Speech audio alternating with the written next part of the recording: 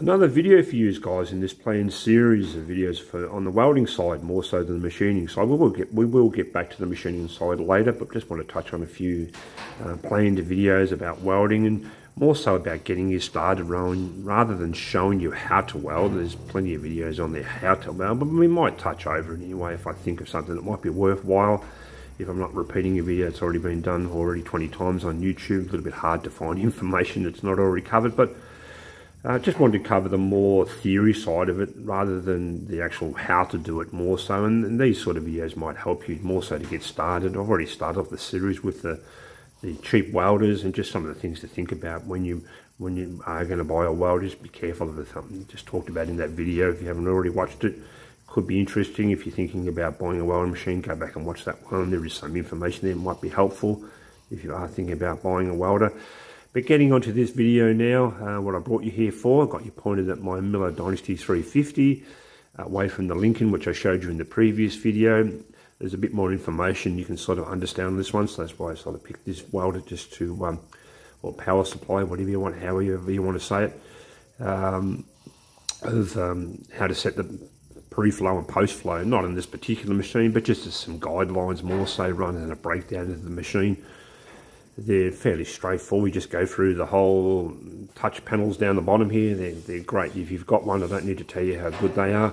Uh, pay more, get more with most things, and yeah, you just go along. I think the even the more the cheaper welders are starting to duplicate the more expensive welders now with these press buttons and menu. You can scroll through different things. So you got your we're working on this one at the moment, the pre and the post. We won't worry about doing any of the others. I'm not trying to sell you the machine. So you've got your pre and post. So for those who are not familiar, pre is obviously before you start welding and post is after you finish welding. So after you extinguish the, the arc, that's the gas running after the actual arc ends and the gas keeps running. So these will vary, but generally on default setting or where they are set on a machine you cannot adjust like the Lincoln that I showed you in the in the cheap welders video um, they're not adjustable, but you can get into the board uh, and adjust them if you know what to do. Make sure you turn the right one, but sometimes you can take them to a, a dealer or a guy's pretty switched on with, with um, welding machines and they can adjust that if you want to change that to a higher setting or a lower setting, but you probably want to turn it down from where the default setting is once you got that out. So the default setting is where the miller's set at the moment, which is about 0.4 or half a second thereabouts and it goes. You can just scroll all the way up, you know, up up to whatever you want, to whatever you might need. The pre the pre flow you probably don't need a lot of pre flow uh, as far as I'm getting up to into, but there could be applications that well, are getting up to 25 seconds. Obviously, not going to be waiting 25 seconds to start welding. You're probably already fallen asleep, but the the adjustment on there is good for certain types of metals. With the Dynasty is pointed at the higher end of welding, so it's not just a, welding machine to stick two pieces of metal together. It's to stick the two pieces of metal, metal together uh, well, I suppose, or do it do it the best way that you can, and that goes all the way down to zero. So as I say, default setting is about 0.4, which is about where I leave it, 0.4, 0.5, somewhere around there anyway. If you've got adjustable pre-flow, some of the cheaper welders have got it now. And in, as I say, in general, where it's set as a default, I leave that about 0.4. As I say, that works. That's so that's just before your arc starts. Just gives that split second to get some gas before you start the arc. Otherwise, you can contaminate your tungsten. And scrolling down into post, uh, I set that at about nine. So that's welding on aluminium at the moment. That might vary. Um, anything basically non-ferrous, okay? In other words, for anything that's non-carbon material, so your, your brass, copper, aluminium, magnesium, that pretty much covers it uh, in your AC range.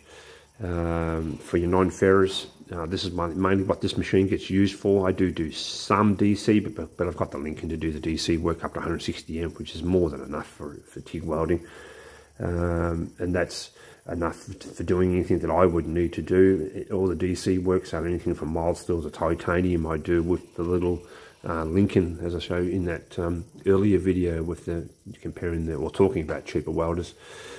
But as far as post goes, getting back to the point now, as far as post flow goes, Um, depending on what you're welding, generally for general welding, um, I normally set that about 9, 10, 10 seconds, so that should flow after you've ended the arc.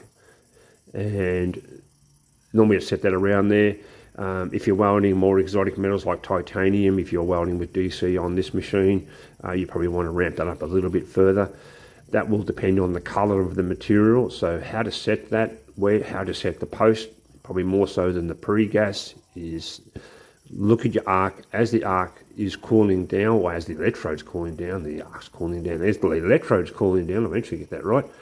As your electrode's cooling down, it's got to lose all its color and then the gas should probably flow for about another second, two seconds. I'll leave it up to you. Depends if you're paying for the gas or someone else is paying for the gas. So if you're paying for the gas, you'll probably keep it a bit leaner. If someone else is paying for the gas, you could leave it on for 30 seconds. You couldn't care less.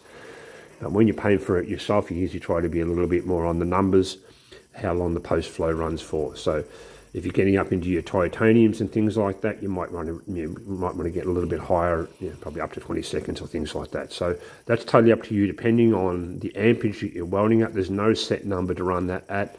Same thing if you're welding on any metal on your post flow, depending on how, how hot the electrode is and what material you're welding. The material in general doesn't need much post Normally you can run that back down around about the 10 second mark so for your alleys and things like that.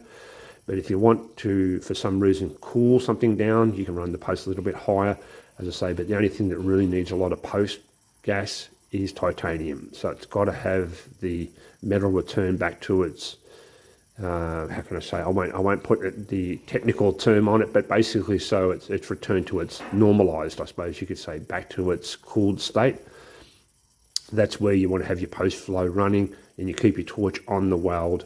So if you've ever welded titanium, you watch watched videos on YouTube of guys welding titanium, you normally always need to run a lot of post.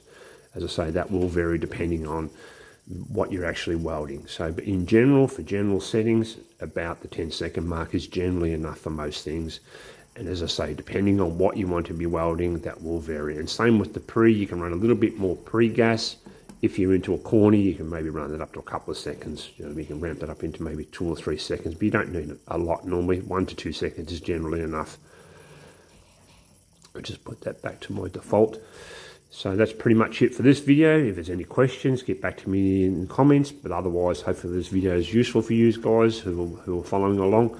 And I look forward to seeing you on the next video. We'll probably talk about water coolers on this particular machine we want to get back to the gas series and we'll be talking about um, different gas, uh, not so much different types of gas, but more so uses of gas and things like that as far as setting up your gas flow and comparing renting bottles versus buying bottles. So uh, we'll sort of cover that in, in, the, in the video coming up anyway. I want to get onto that one where we're talking about which one works out more economical, I suppose, for renting or buying. So and I'll leave that one for the for that for that video anyway. I look forward to seeing you guys on there. Okay, that'll do for this one. I'll talk to you guys soon. Bye for now.